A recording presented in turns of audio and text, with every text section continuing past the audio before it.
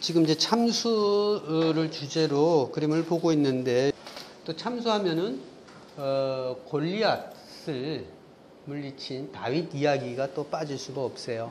그래서 골리앗을 참수한 다윗 이것도 또 참 많이 그려진 그림인데요. 왜 이렇게 그 끔찍한 다윗 이야기, 유디트 이야기 이런 것들이 왜 이렇게 많이 그려졌을까?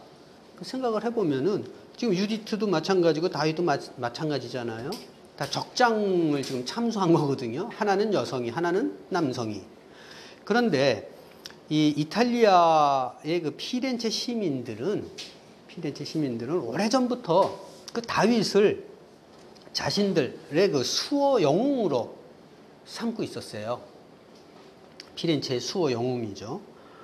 어, 수호 성인으로 어, 설명을 할 수 있습니다. 수호 성인으로 삼았는데 또 수호 성인을 남성만 있으니까 뭐 거기에 걸맞는 또 여성 어, 수호 성녀를 택해야 되는데 그게 누구였느냐면 유디트였어요. 그래서 남자는 다윗, 여성은 유디트.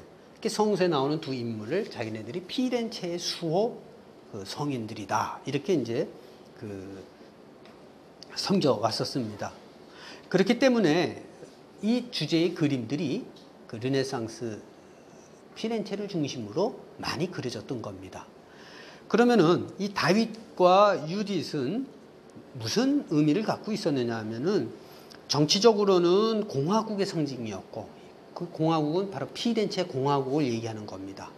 그래서 정치적으로는 공화국을 상징을 했고 종교적으로는 무슨 뜻을 갖고 있었느냐 하면은 바로 악을 물리친 선, 악을 물리친 선의 알레고리를 갖고 있었던 겁니다.